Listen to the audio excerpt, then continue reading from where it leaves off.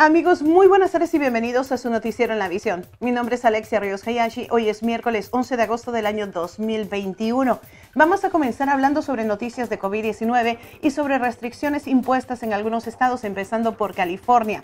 Se convierte en el primero en tomar esta decisión. Ya lo había hecho ciertamente con otro tipo de instituciones, pero es necesario hacerlo ante el aumento de casos de COVID-19. California, el primer estado en hacer obligatoria la vacunación a todo el personal escolar.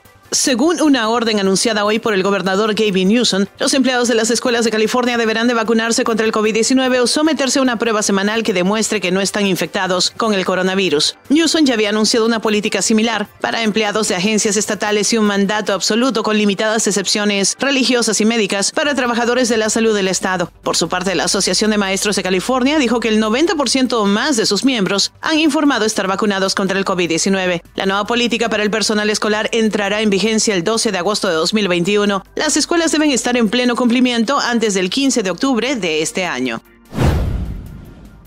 Adolescente desaparecida en Atlanta, encontrada salvo en Texas. Una estudiante de North Atlanta High School que desapareció el pasado 5 de agosto fue encontrada a salvo por las autoridades en Arlington, Texas. Caitlin Winchester, de 14 años, no regresó a su casa después de su primer día de clases. En la búsqueda participaron agentes de la Oficina Federal de Investigaciones y el Departamento de Policía de Atlanta. De manera oficial se conoció que un hombre identificado como André McNair, de 23 años, se encuentra detenido por el acontecimiento. Hasta el momento no se han dado a conocer detalles sobre la localización de Winchester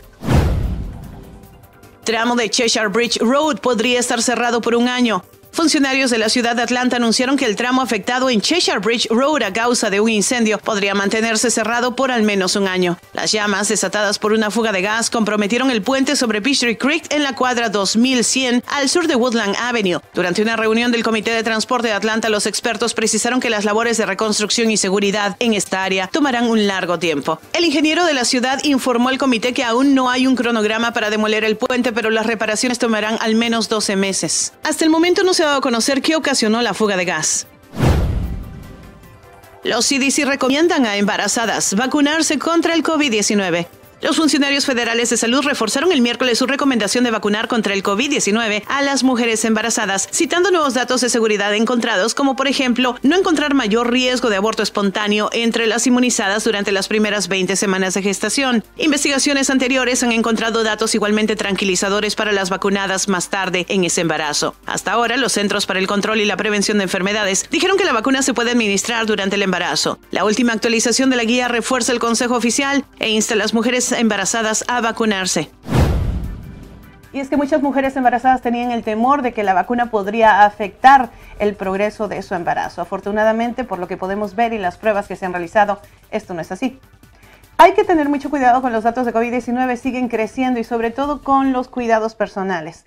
Tome en cuenta lo siguiente, hasta el momento desde que inició la pandemia hemos tenido en este estado 972.513 casos de personas infectadas con COVID-19. En las últimas 24 horas se han sumado 4.362 nuevos casos. Además, hay 31 nuevas muertes confirmadas y 180 personas más hospitalizadas. Así van los datos. Ahora también tenemos que hablar sobre las vacunaciones. Hay que decir que el porcentaje que teníamos ayer lo seguimos teniendo hoy.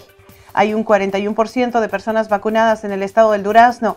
Esto representa 9.028.596 nuevos casos.